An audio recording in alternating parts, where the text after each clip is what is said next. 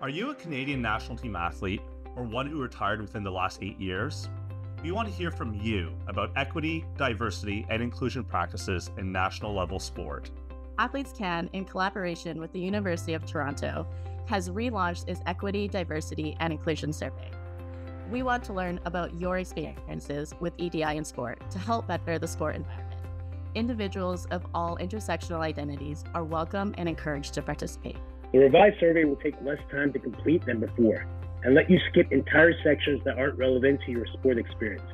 This edition of the survey is more streamlined to help you share your experiences with EDI in your sport environment in a way that is understandable, accessible, and easy to navigate. To learn more about the research study and to access the anonymous survey, visit athletescan.ca. Follow AthletesCAN on social media and join AthletesCAN today.